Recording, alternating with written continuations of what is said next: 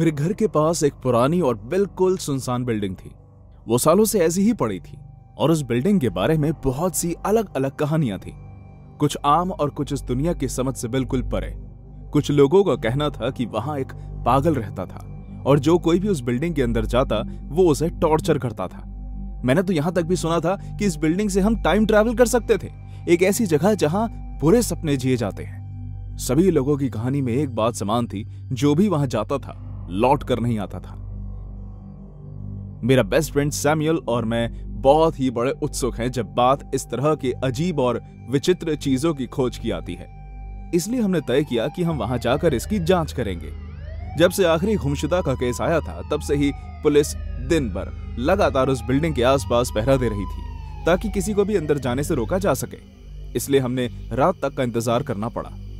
करीब साढ़े दस बजे सैमुअल मेरे घर आ गया। और हम तैयारी करने लगे।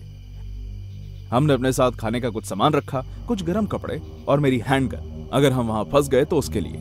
हम तकरीबन साढ़े ग्यारह, बारह बजे के आसपास घर से निकले और कुछ ही मिनटों के बाद उस बिल्डिंग के पास पहुँच गए। जैसे ही हम गाड़ी से बाहर निकले तो मैंने देखा कि उस बिल्डिंग के आसपास काफ़ी धुंध थी, क्योंकि वो सर्दियों का मौसम था, इसलिए इस बात ने हमें उस समय इतना परेशान नहीं किया। लेकिन जो भी हो, वो धुंध थी तो बहुत ज़्यादा। हमने अपना सामान लिया और अंदर की ओर जाने लगे। बिल्डिंग के अंदर जाने का दरवाज़ा बंद था, इसलिए हमें खिड़की तोड़कर अंदर जाना पड़ा। हमने पहले अपना सामान बिल्डिंग के अंदर फेंका और फिर खुद अंदर घुस गए। वो मेरी ज़िंदगी की सबसे बड़ी गलती थी। अगर मैं वक्त में पीछे जा सकता तो कभी इस नर्क में पैर नहीं रखता। वहाँ पहुँचते ही जिस बात पर मेरा सबसे पहले ध्यान गया, वो ये था कि वो जगह कितनी ज़्यादा अंधेरे से भरी थी। हालाँकि हमारे पास एलईडी फ्लैशलाइट्स थी, लेकिन वो ज़्यादा मदद नहीं कर रही थी। हमें अपने आगे सिर्फ़ तीन फीट दूर तक ही दिखाई दे रहा था। लेकिन फिर भी हमने सोचा कि हम अपनी तलाश जारी रखेंगे। सैमुअल ने अपने एक हाथ में कैमरा पकड़ा हुआ था और उसका नाइट मोड ऑन किया हुआ था, लेकिन उससे भी कोई फ़ायदा नहीं हो रहा था। मैंने अपने एक हाथ में फ्लैश लाइट पकड़ी हुई थी और मेरे दूसरे हाथ गन के पास था, ताकि अगर कोई भी अंधेरे से हम पर वार करे तो बचाव के लिए मैं फ़ौरन उस गन का इस्तेमाल कर सकूँ। जैसे ही हम बिल्डिंग के बीचों बीच पहुँचे तो मुझे एक अजीब सी बदबू का एहसास हुआ। बहुत ही गंदी बदबू। वो बदबू बयान करने में मुश्किल है लेकिन वो इतनी बुरी थी कि हम दोनों के नाक के बाल जल गए। आ, ये बदबू कैसी है? पता नहीं। इसका अनुमान लगाना मुश्किल है। हम उस लंबे हॉलवे को पास करते हुए एक ऐसी जगह पहुँचे जहाँ से हमें बाहर का नज़ारा दिख रहा था। उस कमरे की बड़ी सी दीवार टूटी हुई थी जिससे उस बिल्डिंग में सीधा घुसा जा सकता था। उस दीवार के पास जंगल था। दीवार के चारों ओर पेड़ की टहनियाँ बढ़ चुकी थी जो बढ़ते बढ़ते दीवार के छत तक पहुँच गई थी। कुछ सेकंड्स के लिए तो मुझे ऐसा लगा जैसे हम किसी जंगल में आ गए हैं। जैसे ही मैंने फ्लैश लाइट कमरे की टूटी हुई दीवार पर मारी तो मेरी आँखें धुंधलाने लगी और मेरा हाथ कांपने लगा। फ्लैश भी बुझने लगी। सैमुअल का पैर किसी चीज़ पर टकराया और उसके हाथ से कैमरा गिर गया। नीचे गिरने की वजह से कैमरा टूट गया और फिसलते हुए थोड़ा आगे गिर गया। हम जानते थे कि अब वो किसी काम का नहीं रहा, इसलिए उसे ढूँढने के बारे में हमने सोचा भी नहीं। हमने अपनी फ्लैश लाइट ज़मीन पर की ताकि हम देख सके कि सैमुअल किस चीज़ से टकराया था। जैसे ही नज़र ज़मीन पर पड़ी तो मेरे दिल की धड़कन रुक सी गई। ज़मीन पर एक मरा हुआ हिरन पड़ा था। उसके चिथड़े चिथड़े किए हुए थे। उसके शरीर को फाड़ कर खाया गया था। ज़मीन पर चारों ओर खून ही खून था। मुझे फ़ौरन एहसास हुआ कि वो बदबू यहीं से आ रही थी। तो वो खून की बदबू थी जो हमें परेशान कर रही थी, लेकिन वो बदबू इतनी ज़्यादा थी कि एक हिरण की नहीं हो सकती थी। जब हमने अपनी फ्लैशलाइट इधर उधर घुमाई तो हमें चारों ओर सिर्फ़ खून ही खून दिखाई देने लगा। और यही नहीं, वहाँ पर किसी के पैरों के निशान भी थे। बिल्कुल किसी के हाथ की तरह, लेकिन उसकी उंगलियाँ बहुत बड़ी थी। लंबी से मेरा मतलब है कि एक फुट लंबी, और वो दिखने में नोकीली भी लग रही थी। उन हाथों के निशान हर जगह थे, ज़मीन पर, दीवारों पर, और यहाँ तक कि सीलिंग पर भी। ओह माय गॉड क्या ये किसी तरह का जानवर है? मुझे सच में लगता है कि हमें यहाँ नहीं होना चाहिए यार। हाँ पर क्या तुम जानना नहीं चाहते? ऐसा कहते हुए सैमुअल उन निशानों का पीछा करने लगा। वो निशान एक ही कमरे की तरफ़ जा रहे थे। उस कमरे का दरवाज़ा किसी तरह टिका हुआ था और उसका ताला पूरी तरह टूटा हुआ था। मेरा दिल ज़ोर ज़ोर से धड़क रहा था। इस कमरे में आखिर है क्या? कोई भी जानवर इस तरह नहीं कर सकता। किसी भी ज़िंदा प्राणी के निशान ऐसे नहीं होते। चुप रहो। सैमुअल के अंदर उस बात की खोज करने का भूत सवार था, और इससे पहले कि मैं उसे रोक पाता, उसने उस कमरे का दरवाज़ा खोल दिया। जो हमने देखा, उसे देख उसके सपने मुझे आज तक आते हैं। वहाँ लाशों का ढेर लगा हुआ था। कुछ लाशें साबुत थी, जबकि कुछ बुरी तरह चीर फाड़ की हुई। कुछ हिस्से जानवरों के और कुछ इंसानों के। वो कमरे के एक इंच गहरे खून से भरा था। इस कमरे की दीवारों और छत पर भी वही निशान थे। अचानक हमें उस कमरे में किसी के पैरों की आहट हुई। और मुझे महसूस हुआ कि हम इस कमरे में अकेले नहीं हैं। क्या तुमने वो सुना?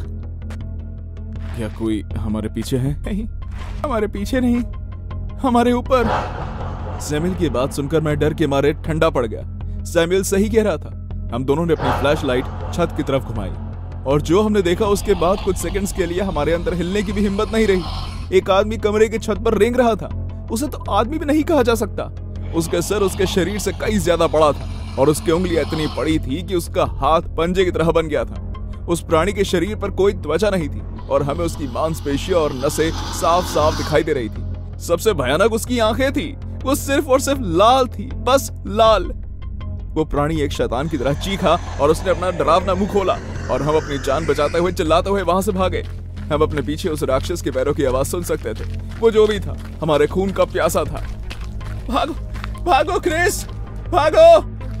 मैं उस टूटी हुई खिड़की से बाहर कूदने ही वाला था कि मुझे सैमुअल की चीख सुनाई दी मैं पीछे बढ़ा और मैंने देखा कि उस राक्षस ने सैमुअल को गर्दन से पकड़ लिया था।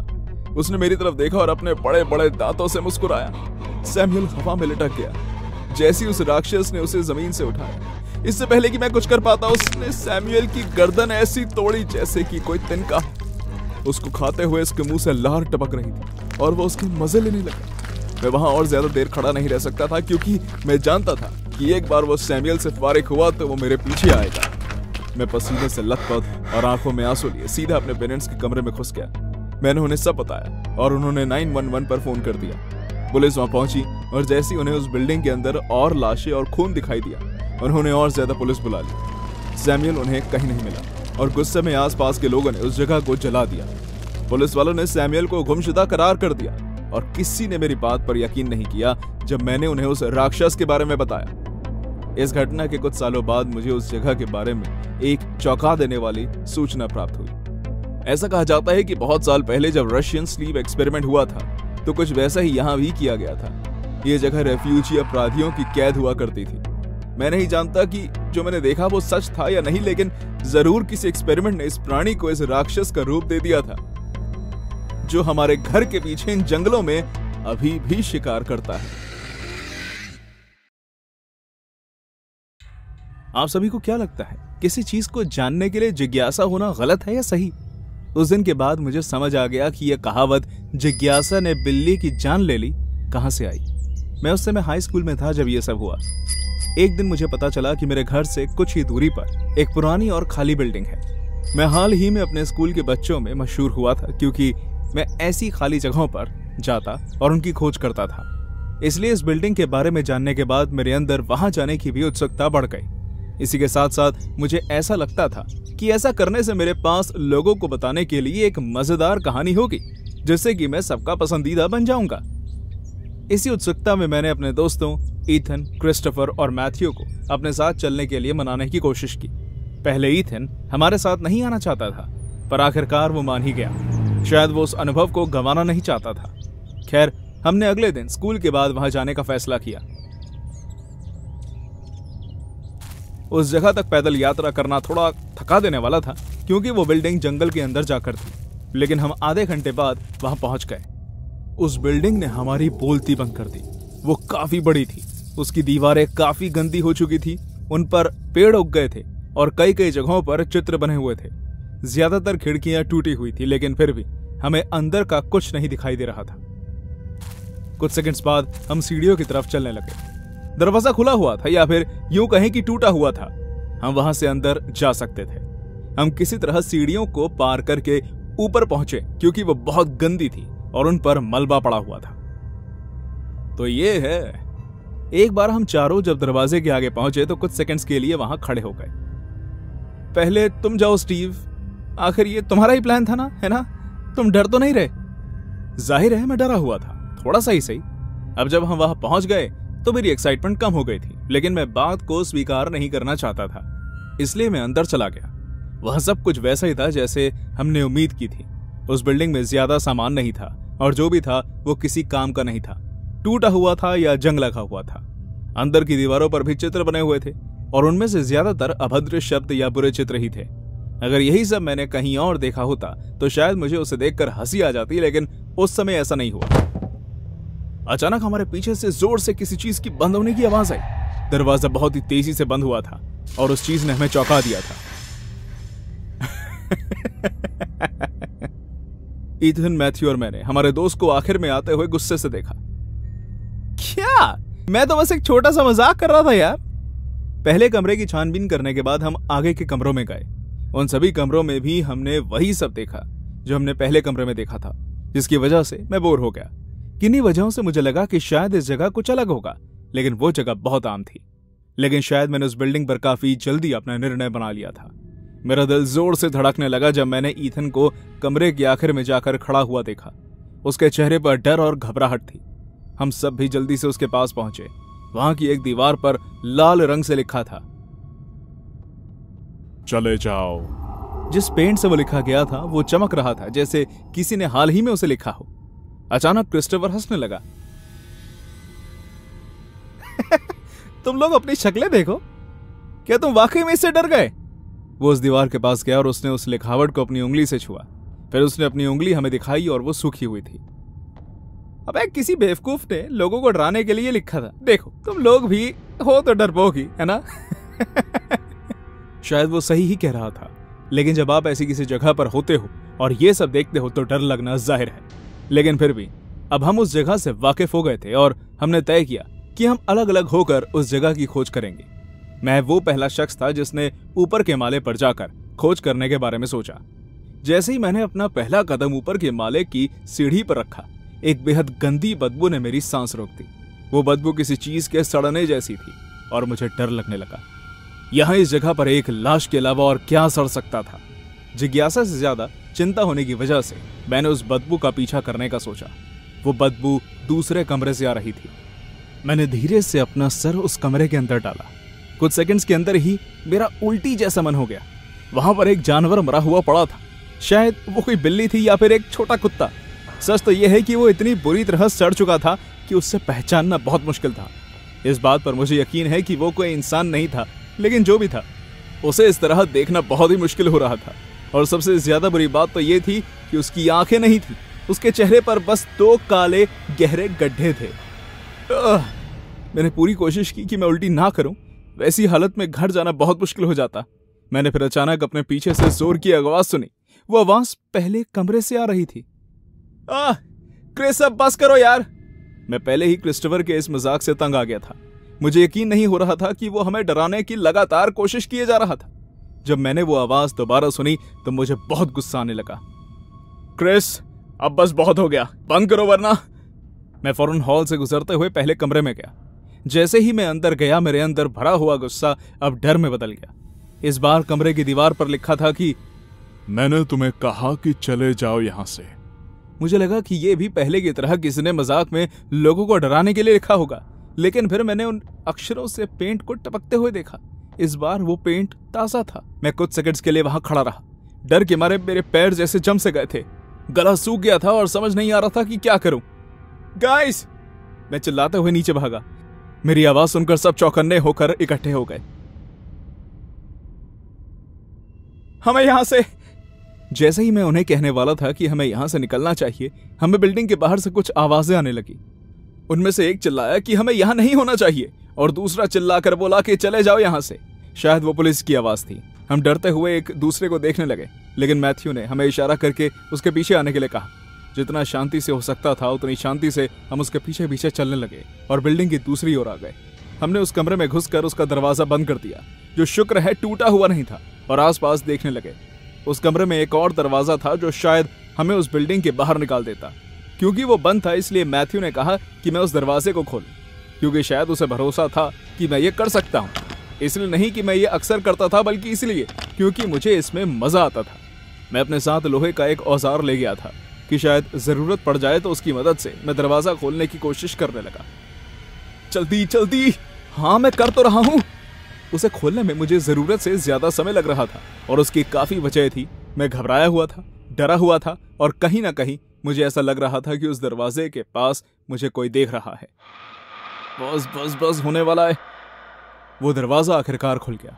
हमें एहसास हुआ कि वो बाहर जाने का रास्ता नहीं बल्कि एक कमरा है जहाँ की हवा बहुत ही अजीब थी। चले जाओ। हम अभी उस कमरे के अंदर देख भी नहीं पाए थे कि वहाँ से ज़ोर की एक आवाज़ आई। डर के मारे मैंने अपने कुछ कदम पीछे कर लिए लेकिन मैं लड़खड़ा कर गिर गया। तुम्हें यहाँ नहीं होना चाहिए। भागो यहाँ से। उस छोटे से कमरे में जहाँ एक खिड़की भी नहीं थी, वहाँ दो कंकाल पड़े थे, और उन कंकालों को देखकर यह तो ज़ाहिर था कि वो किसी इंसान के थे। डर के मारे हम चारों कमरे से बाहर भाग गए। हमने इस बात की भी फ़िक्र नहीं की कि बाहर पुलिस हो सकती है। हम बस भागते रहे। लेकिन जैसे ही हम बाहर के दरवाजे की ओर भागने लगे तो वो बिल्डिंग टूटने लगी। दीवारें कांपने लगी, मलबा गिरने लगा। उनमें से एक मेरे हाथ पर भी लगा, लेकिन मैं फिर भी भागता रहा। किस्मत से हम सब बाहर निकल आए। हमें बस कुछ जगहों पर खरोच आई थी। हैरानगी की बात यह थी कि बाहर कोई नहीं था। आखिर में हम सबने फैसला किया कि हम ये सब होने के बावजूद पुलिस को यहाँ की सूचना देंगे। वहाँ के नजारे और हड्डियों की छानबीन के बाद पुलिस को पता चला कि वो एक औरत की थी, जो बहुत साल पहले गुमशुदा हो गई थी और एक आदमी की जो जेल से भाग गया था। क्योंकि वहाँ सिर्फ़ हड्डियाँ रह गई थी, इसलिए वो ये पता नहीं लगा पाए कि आखिर वहाँ हुआ क्या था। लेकिन कुछ सुराखों के होने की वजह से लोगों ने कई कहानियाँ बनाई। दीवार पर चीन लटकी हुई थी और दरवाजे पर खरोचों के निशान थे। ज़मीन पर बहुत पुराने खून के धब्बे भी मिले। नतीजा ये निकाला गया कि उस आदमी ने उस लड़की का अपहरण किया, उसे टॉर्चर किया और शायद उसका बलात्कार भी किया। और किसी तरह वो लड़की उस आदमी को हानि पहुँचा पाई। लेकिन इस हाथापाई में कहीं ना कहीं वो भी बुरी तरह घायल हो गई और इस हालत में वो दरवाज़ा नहीं खोल पाई। इन सब के बीच में ये सोचता हूँ कि वो आवाज़ से उस दिन हमें क्या कहने की कोशिश कर रही थी? चले जाओ, और तुम्हें यहाँ नहीं होना चाहिए, भागो। शायद वो आदमी नहीं चाहता था कि इस जगह की छानबीन हो, और उसके घिनौने काम किसी को पता चले, और शायद वो लड़की हमें बचाना चाहती थी।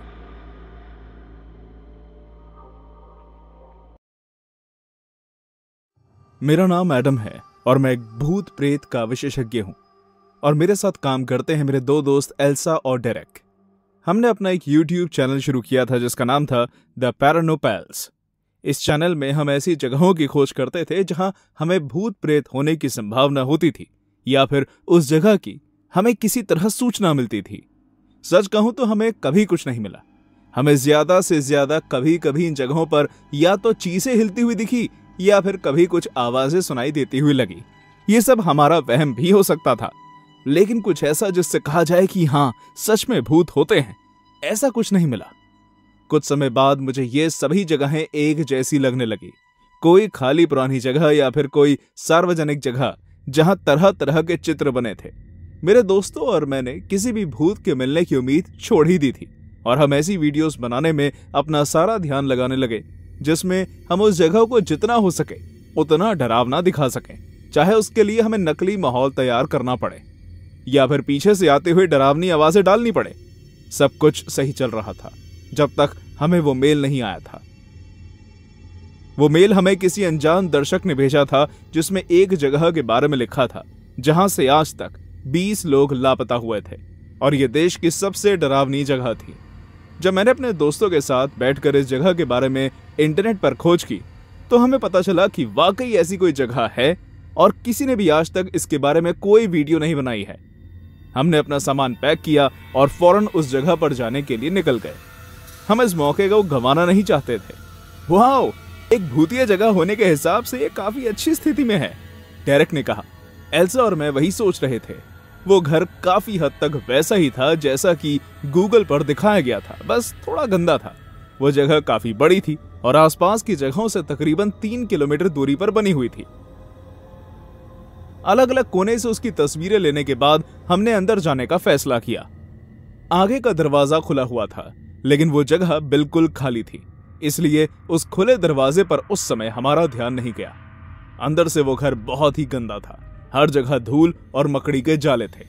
उसके अलावा वो जगह बिल्कुल ठीक थी, वहाँ रखा हुआ सामान टूटा हुआ नहीं था और ना ही उसकी दीवारों पर कोई चित्र बने हुए थे, बल्कि दीवारों पर गाढ़ा सफ़ेद रंग किया हुआ था। जो गंदा होने की वजह से थोड़ा काला पड़ गया था। उसके अलावा घर में और कोई खराबी नहीं थी। क्या यह सच है? या मेरी आँखें मुझे धोखा दे रही हैं? इस खाली जगह पर किसी बच्चे ने कोई भी चित्रकारी नहीं की हुई। उन बच्चों का सलाम। आखिर हमारी वीडियोस यही लोग देखते हैं। मैंने मज़ाक बनाते हुए कहा, सुनो, इस घर में रहने वाले भूतों, तुम बालिक तो हो चुके हो ना? हमें YouTube पे सब्सक्राइब करना। डेरेक ने मज़ाक करते हुए कहा और हम सब हंसने लगे। तो हम ये कैसे करने वाले हैं गाइस मेरे ख्याल से हम यहाँ कुछ पिक्चर्स लेकर एक दो शॉट्स ले लेते हैं। उसके बाद हम ऊपर फ़र्स्ट फ्लोर पर चलते हैं। वो देखने में ज़्यादा डरावना लग रहा है।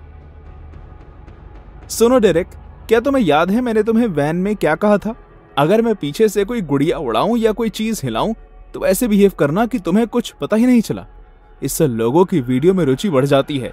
और वो उन्हें सच्ची लगती है। जैसे तुम कहो मैडम। हमने कुछ तस्वीरें ली और कुछ डरावनी वीडियो क्लिप्स बनाई। सब कुछ वैसा ही चल रहा था जैसा हम चाहते थे। और अब हम ऊपर वाले माले पर जाने के लिए तैयार थे। लेकिन एक आवाज़ ने हमें रोक दिया। जब हम पीछे मुड़े तो हमने एक टोपी वाले आदमी को देखा। उसने आगे के दरवाजे को बंद कर दिया और फिर हमारे सामने खड़ा हो गया। अब तुम लोग बाहर नहीं जा सकते। उसने हम पर हँसते हुए कहा इससे पहले कि हम कुछ कर पाते, हमारे पीछे पाँच आदमी आकर खड़े हो गए। उनमें से एक आदमी ने एल्सा को उसकी गर्दन से ज़ोर से पकड़ लिया, ताकि वो अपनी जगह से हिल ना सके। दो और आदमियों ने मुझे मेरी बाजुओं से पकड़ा, जैसे वो यही काम करते हो। ये वो आम लोग नहीं थे जो इन जगहों पर आकर, इनकी दीवारों पर चित्र बनाकर उन्हें खराब करते हैं, बल्कि ये अच्छे से जानते थे कि ये क्या कर रहे हैं। डेरेक ने डरते हुए इधर उधर भागने की कोशिश की। उसने अपना कुछ कदम बढ़ाए तो अंधेरे से दो आदमियों ने निकलकर उसे भी पकड़ लिया। कौन हो तुम? और तुम हमारे साथ ऐसा क्यों कर रहे हो? मैंने डरते हुए लेकिन चिल्लाकर पूछा। जब हम यहाँ हैं तो हम में से किसी का भी कोई नाम नहीं है। लिटिल घोस्ट हंटर्स माफ़ करना लेकिन हम तुम्हारे सवाल का जवाब नहीं दे सकते। मुझे जाने दो। आओ आओ एक एक करके मुझ पर अटैक करो। मैं तुम्हें तुम्हारी नानी याद दिला दूँगा। अपना मुँह अपनी टोपियों में छुपाते हुए भागोगे तुम यहाँ से? डेरेक ने गुस्से में कहा। डेरेक की बात को नजरअंदाज करते हुए वो आदमी बोलता रहा। तुम्हारी किस्मत अच्छी है मैडम। इसलिए मैं तुम्हारे दूसरे सवाल का जवाब दे दूँगा। अपने गले को साफ़ करने के लिए वो कुछ सेकंड के लिए रुका। जिस वजह से हम सब तुम्हारे साथ ये कर रहे हैं वो ये है कि तुम लोग पागल हो जो वहाँ अकेले आए हो। वो भी बिना हथियार के। ऐसे घर में जहाँ से लोग गायब हो जाते हैं सच में ये कहाँ से तुम्हें एक अच्छी तरकीब लगी? हम सिर्फ़ लोगों का मनोरंजन के लिए वीडियो बनाना चाहते हैं। मैं जानता हूँ हम लोगों में काफ़ी कुछ सामान है। हमारी भी एक ऑडियंस है। क्या? काफ़ी बातें हो गई चलो शो शुरू करते हैं गाइस जैसे उसने ये कहा एक आदमी ने कैमरा निकाल लिया और डेरेक की वीडियो बनाने लगा। इतने में ही दूसरा आदमी अपने हाथ में कैंची लिए उसकी तरफ़ बढ़ने लगा। हे, तुम ये क्या कर रहे हो? दूर करो इससे मुझे। पागल कहीं के? जाने तो मुझे वरना मैं तुम सबको मार डालूँगा। डेरेक आँखों में आंसुओं के साथ चिल्लाने लगा। उसकी बात पर ध्यान ना देते हुए वो आदमी उसकी तरफ़ बढ़ा और उसने वो कैंची उसके पेट में घुसा दी। अपनी पूरी जान लगाते हुए उस आदमी ने डेरेक का पेट काट दिया। डेरेक अब अपनी जान बचाने के लिए चिल्ला नहीं रहा था। उसने दम तोड़ दिया था। इसलिए उन लोगों ने अब उसे छोड़ दिया। जैसे वो ज़मीन पर गिरा, वो दोनों आदमी जो उसे पकड़कर खड़े थे, उन्होंने अपने हाथ डेरेक के पेट के अंदर डाले और उसके अंग बाहर निकालकर फेंक दिए। मैं नहीं जानता था कि ये सब क्या हो रहा था। मैंने जब मुड़कर एल्सा को देखा तो वो बस उल्टी करने ही वाली थी, लेकिन तभी वो आदमी उसे पकड़कर खड़ा था। उसने एल्सा के मुँह में सॉक्स डाल दी। अब वो कैमरा एल्सा की तरफ़ था। वो बहुत कोशिश कर रही थी कि वो उल्टी कर दे, लेकिन ऐसा नहीं हो पा रहा था, क्योंकि वो उसके गले में ही अटक गई थी। जिस आदमी ने उसके मुँह में वो सॉक्स डाली थी अब उसने एल्सा की नाक भी बंद कर दी थी। एल्सा का शरीर फूलने लगा और वो ज़ोर ज़ोर से अपने हाथ झटकने लगी कि शायद उसके हाथ कुछ लग जाए जिससे वो अपनी जान बचा सके। हे हे जो तुम कर रहे हो वो बहुत दर्दनाक है। तुम एल्सा की सांस लेने में मदद क्यों नहीं कर देते?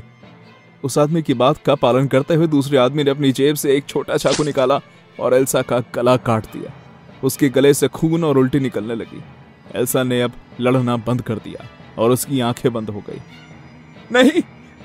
एल्सा मुझे माफ़ करना।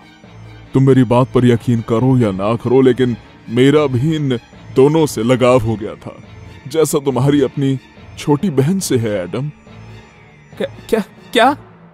अब मैं तुम्हें बताता हूँ कि अब ये तुम्हारी छोटी सी दुनिया कैसी चलेगी। मिस्टर पैरन नॉर्मल इन्वेस्टिगेटर उस आदमी ने ताना मारते हुए मुझसे कहा अब तुम घर जाओगे और कहोगे कि तुम्हारे अपने दोस्तों से लड़ाई हो गई और उन्होंने तुम्हें वैन से बाहर निकाल दिया।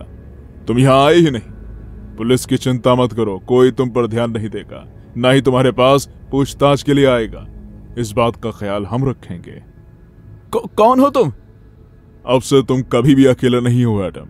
अगर तुम हमारी खोज करने निकले या पुलिस के पास गए या फिर जो कुछ भी यहाँ हुआ उसके बारे में तुमने किसी को बताया? तो तुम्हारी छोटी बहन तुम्हारे पेरेंट्स रिश्तेदार यहाँ तक कि तुम्हारा कुत्ता सब मारे जाएँगे। ऐसा कहकर उस आदमी ने दरवाज़ा खोल दिया और जिन आदमियों ने मुझे पकड़ा हुआ था उन्होंने भी मेरा हाथ छोड़ दिया। मैं डरते हुए दरवाजे की ओर बढ़ने लगा। उन सब की आँखें बस मुझे ही घूर रही थी। मेरे उस घर से निकलने से पहले जो आदमी इतनी देर तक मुझसे बात कर रहा था उसने एक आखिरी बार फिर मुझे रोक कर कहा ओह एक आखिरी बात तुम अपनी जॉब हंटर की जो इस नौकरी को कभी नहीं छोड़ सकते। हमारे दर्शक कुछ अलग ही हैं और वो इस बात के लिए मान गए कि अब तुम अपने दोस्तों के भूत को ढूँढने की खोज करो। अब तो तुम्हें अपनी नई वीडियो के लिए आइडिया भी मिल गया। उसने हँसते हुए कहा हम आज के इस शो का वीडियो तुम्हें भेज देंगे। अगर तुम इस वीडियो का एक अहम हिस्सा हो तो इस वीडियो को देखने का बस एक ही मौका मिलेगा। अगर तुमने इसे रिकॉर्ड करने या किसी और को दिखाने की कोशिश की तो हमें पता चल जाएगा। गुड बाय एडम अगर हम कभी भी तुम्हें कहीं दिखें तो हमें सब्सक्राइब करना मत भूलना। उसके बाद मैं वहाँ से फ़ौरन निकल गया और जितनी तेज हो सकता था उतनी तेज गाड़ी चलाई। एक हफ़्ते के बाद मेरे यूट्यूब चैनल अचानक से उठ गया और उस पर काफ़ी सब्सक्राइबर्स बढ़ गए। मैं चाहे जितनी भी कम कोशिश क्यों ना करूँ, लेकिन मेरी वीडियोस वायरल होने लगी। मैं अपनी खुद की वीडियोस नहीं देखता, क्योंकि भले ही मैं कभी भी किसी भूत को पकड़ने में कामयाब नहीं हुआ। लेकिन फिर भी, मेरे सब्सक्राइबर्स मुझे बताते हैं कि उन्होंने मेरे पीछे कुछ लोगों को खड़े देखा है।